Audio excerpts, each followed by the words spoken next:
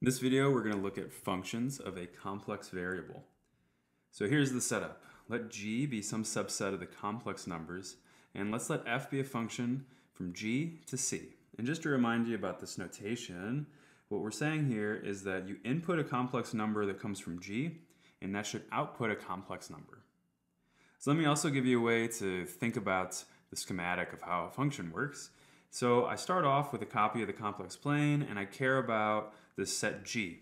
What I'm going to do is I'm going to consider G again as sort of the set of all possible inputs, and I'm going to input them into some function. And then the set of all possible outputs is just some other set in the complex plane over here. And so that blue set gets a name also. We'll refer to that as the image of G, or the image of G under F. It gets its own notation. We usually refer to it as f of g, so like f of a set. And uh, just what is that defined to be, if you let me zoom in, that should be the set of all complex numbers w such that w equals f of z for some z and g. In other words, it's all complex numbers that are outputs of f, is how I want you to think about that. So that is what the image of g will be. And so note that we can typically visualize the domain of the function f and the image of f and while I'm here, let me also say, I use this word domain, and it has a special topological meaning sometimes, um, where domain, if you watch the video about basic topology of the complex plane, a domain referred to a connected open set in the complex plane. Um, for right now though, G is just any subset, and so I just mean it kind of in the college algebra sense. It's just the domain of the function, the set of all inputs. It doesn't have any uh, prescribed topological properties right now. And so, good, I just wrote that down. So not necessarily the topological definition of domain, just set of all inputs, like you're used to from, again, like college algebra or calculus. And so we can't, so we can typically visualize the domain and the image of a complex function because they're two-dimensional, just like I've drawn, just two two-dimensional blobs. And so f is just something that transform one blob maybe into another blob is how I want you to think about that. But that's different than a graph. And so we cannot visualize the graph of the function f, because if you think about it, the graph would have to live in four-dimensional space. And so since the domain and the codomain are both two-dimensional, the, the graph would live in four-dimensional space. So not easy to visualize. And so we're not going to spend a lot of time worrying about trying to visualize the graph of a complex function. And for the rest of this video even, we're not going to worry too much about um, you know, what is this domain? What is its, uh, what does its image look like under this particular function? So for the rest of this video, we want to get used to function notation because it can be a little bit tricky sometimes. And the trickiness comes down to the fact that there are multiple ways to represent a complex number, like we've talked about in previous videos. So let's look at a concrete example. Let's take the complex value function, so from c to c, of f of z equals z squared. So I just square the input. So I want you to think of this function f. Now, if z has real part x and imaginary part y, in other words, you can write it as x plus iy, then we might rewrite this function as, well, x plus iy all squared. And remember to do your algebra, you have to FOIL that, right? And so if you FOIL it, do x plus iy times x plus iy, you should come out with x squared minus y squared is the real part, plus i times 2xy. So 2xy would be the imaginary part. And so, uh, just to recap here, the real part of z squared should be x squared minus y squared, and the imaginary part of z squared should be 2xy. Now, if you notice, those are each functions that depend on x and y. And so we could label them with function notation as well. Let's think of x squared minus y squared. Let's just call that u of xy, and let's call 2xy v of xy. And so what I'm getting at here is that uh, I've got a real part of this function, u, and an imaginary part of this function, v, where u and v are just real valued functions of two real variables. And so here's the recap. To put it all together, to try to say it a little bit more clearly, complex functions have real and imaginary parts too, just like complex numbers do. So it's very common to just generically write, if you've got a complex function, People sometimes just write it as f of z equals u of xy plus i v of xy. So like in my example up there, instead of z squared, somebody might write it as x squared minus y squared plus i 2xy, where you're really emphasizing what the real and the imaginary parts are.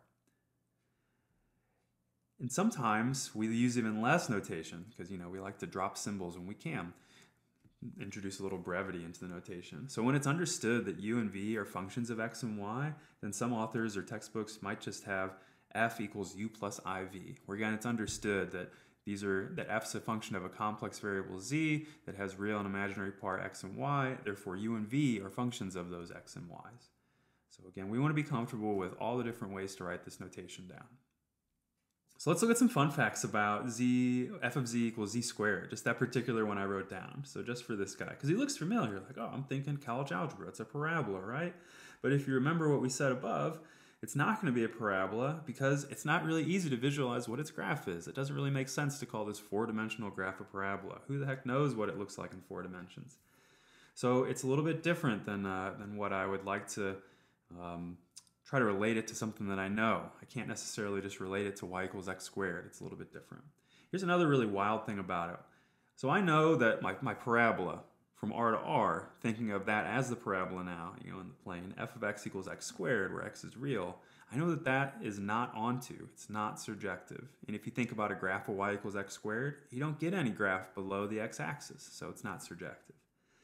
But when I think about this complex valued function, or this function of a complex variable, f of z equals z squared, it is surjective, it is onto. And this is pretty cool.